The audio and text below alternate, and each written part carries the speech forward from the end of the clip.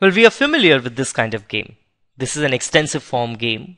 We know it very well as you could see it from the game itself that player 1 is going to move first, player 2 is moving second, conditional on the choices, and he's going to make choices, uh, his choices conditional on whatever choice player 1 has made.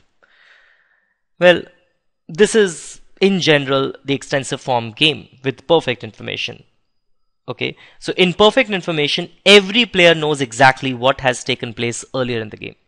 So so player 2 knows here if he's sitting here he knows that he's sitting here and he knows that player 1 has chosen x.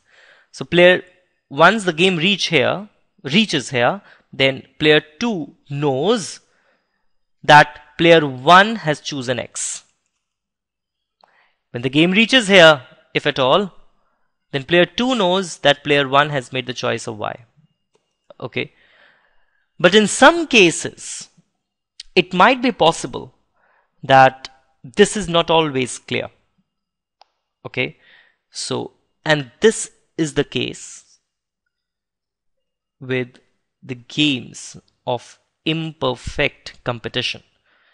And that would mean that when player 2 is sitting at this node or at this node, he doesn't know at which node he is sitting.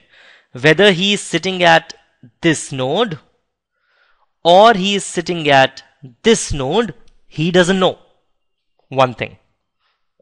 Okay. Other thing. Both the nodes in this information set, they pertain to the same player. Okay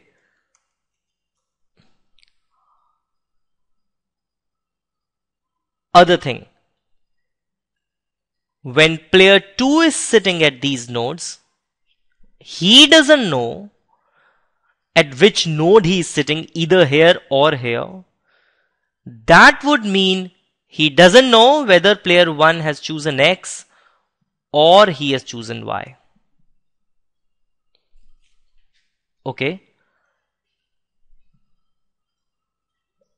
So what might happen is that player 1 can actually fool player 2 into thinking that he has played X while he has actually played Y or he has played Y while he has actually played X.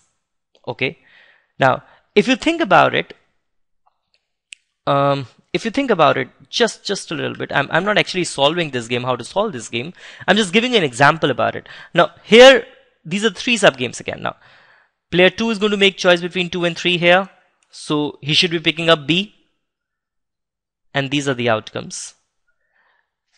If he's sitting at this sub game then player 2 has a choice between 2 and 1 so he should be choosing 2 that means this and when this is offered to player 1 he should choose A.